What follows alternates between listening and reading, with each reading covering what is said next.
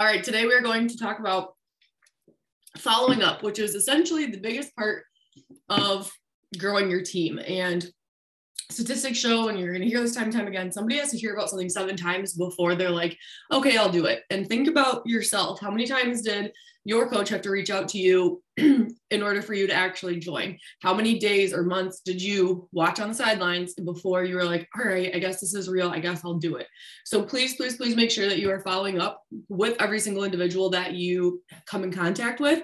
The best way to do this is by tracking I use a Google spreadsheet. Um, I put the person's name or their Instagram handle. I put where we connected, whether it was in person, on Facebook, on Instagram, wherever. Oh, and then I put in the comment next to that something about them or something about our conversation so that when I go to follow up them, it's not like an awkward, like dry conversation. Um, I usually say, like, hey, I have this group running. Um, I really want you to be a part of it. I want you to be there we would be a better team if you were a part of it. We want your energy, we want your vibe. Make them feel wanted. That's what a huge part of Beachbody is, is that inclusiveness, that community, that I belong feeling. And you need to be the one that initiates that by following up, making them feel like they're not forgotten about, and then getting them plugged in. Um, make sure that you're knowledgeable on all of our products and programs. And if they give you some kind of excuse, come back with a solution. Our job is to help solve problems. That's the whole point of this. We are there to provide a service to them and it's a solution to something that's going wrong in their lives or maybe not wrong but something that they want to have be better we have the answer so don't let a no defeat you i've had time and time again people say no not right now because xyz and i'll say all right i won't forget about you. I'll i will make sure that i keep you in mind for blah blah blah whatever their excuse is or if they're like it's time cost money situation whatever just be very um, open that you're going to get no's and it's okay but it's your job to consistently follow up with them. There is no limit on follow-ups unless that person is like hey please stop bothering me. Like i don't want to do that. Um, there have been people that I've invited for over a year that then enroll. So don't give up on people. Don't get frustrated.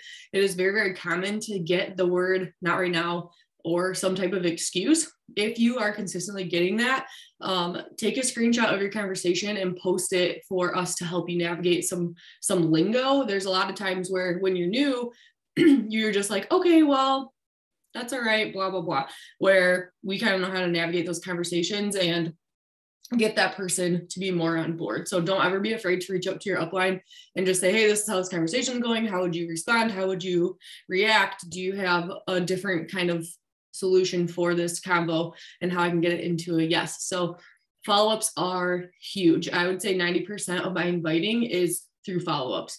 Um, you can follow up with pretty much anyone everyone's fair game and really make them feel wanted. People want to be wanted, and it's your job to make them feel that way. So, quick spiel on follow ups. They don't need to be difficult, they don't need to be time consuming. Just a quick, hey, enrollment's open. I was thinking about you. I'd love to have you there. Your energy, your spirit, your fire would be great. Just something casual where it's not like a, hey, I know last month you said no. Would you like to this month? Don't do that. Just create a conversation, be very open with them. And honestly, I have more success with voice memos. Um, I do warn them, I'm like, hey, this might be a little bit weird for you, but I'm a real human and I actually want you to hear my voice. So, um, and we'll be working together one on one in the near future, blah, blah, blah, blah, blah. And so, just opening that gate of open communication and making sure that they know that you're a real person and you're not just in this to make a business sale is huge. So, that's all I have. Thank you for watching. Um, let me know if you guys have questions. If you have conversations started that you don't know how to navigate, drop them um, for us to help you. So thank you.